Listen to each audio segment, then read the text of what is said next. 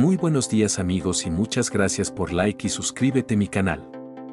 Para hoy, se pronostica que el Frente Frío número 36 y la octava tormenta invernal se desplacen por el noroeste y norte del país, aunados a la entrada de humedad de las corrientes en chorro polar y subtropical, ocasionarán lluvias y chubascos en ambas regiones, ambiente muy frío por la mañana y probable caída de nieve o aguanieve en zonas montañosas de Baja California, Sonora y Chihuahua.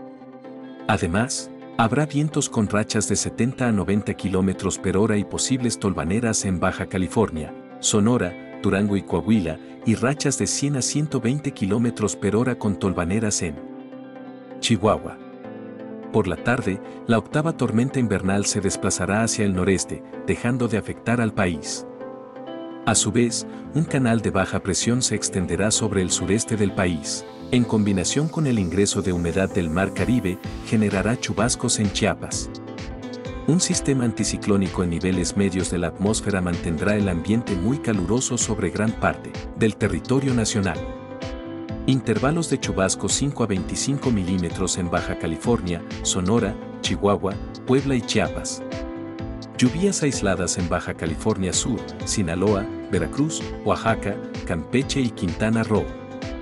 Posible caída de nieve o aguanieve, sierras de Baja California, Sonora y Chihuahua.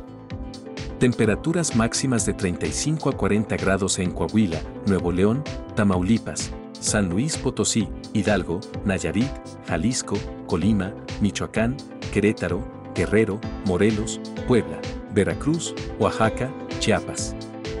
Tabasco, Campeche, Yucatán y Quintana Roo.